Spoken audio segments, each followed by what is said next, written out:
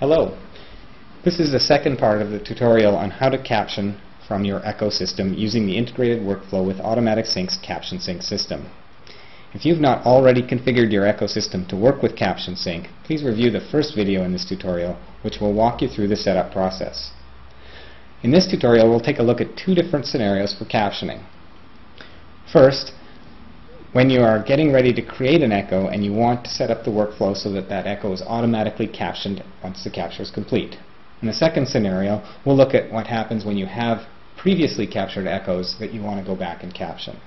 So, let's start with the first scenario. You start by logging into your Echo server.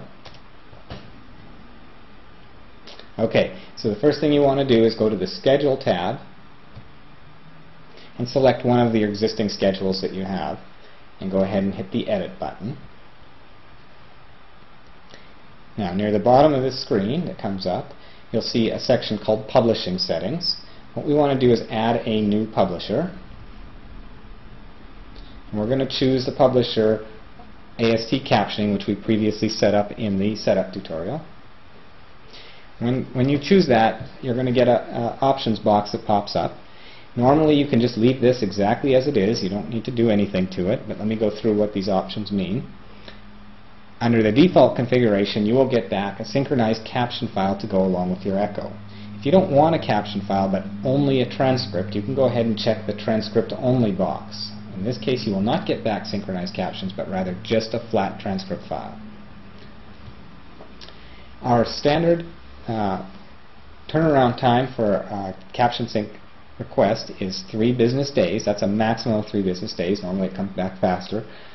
If you're in a hurry and you want that faster, you can request a rush service. There is an extra cost for rush service, but it will return the result to you in less than one business day.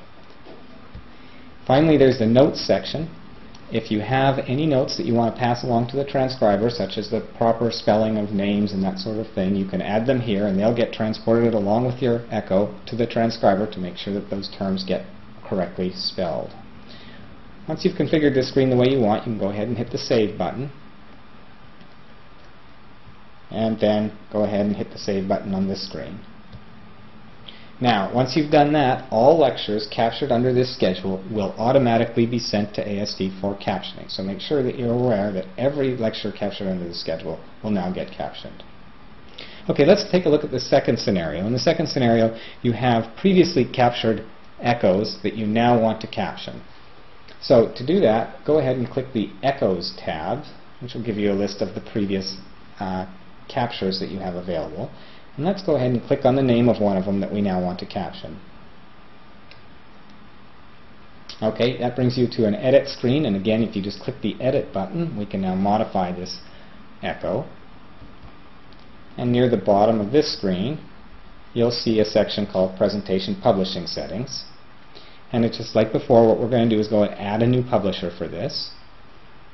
And we're going to choose the AST captioning publisher that we previously set up. And again, we have the same option box that we saw previously, uh, enabling us to select a transcript only or to select rush service. Once you've filled this out the way you want, go ahead and click Save. And then save the entire uh, set of uh, changes for this lecture. And as soon as you do that, this, uh, your Echo system will package up that lecture and send it off to AST for captioning. And as soon as the caption results are done, the captions will appear in subsequent playback of this Echo. And that's all there is to it. Uh, happy captioning.